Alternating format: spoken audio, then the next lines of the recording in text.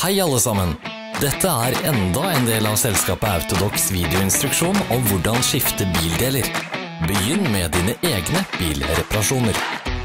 Se beskrivelsen nedenfor for lenker til nettbutikken vår, hvor du kan kjøpe reservedelene.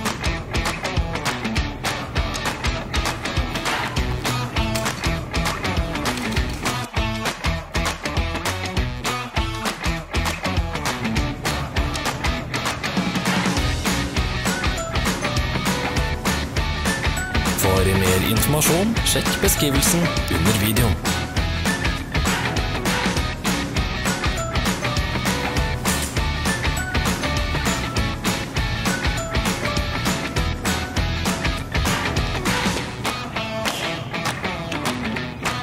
Ikke gå glipp av våre nye interessante videoer.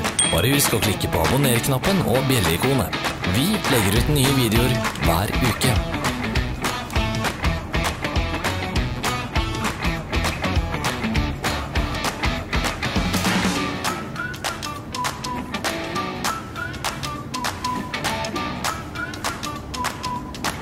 Hjelp oss å bli bedre. Legg igjen en kommentar.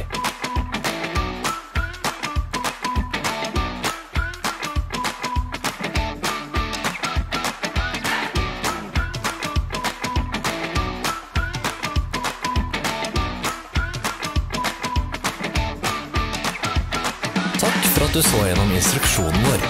Hvis du likte denne, trykk på lik-knappen og del med vennene dine. Ha en fin dag!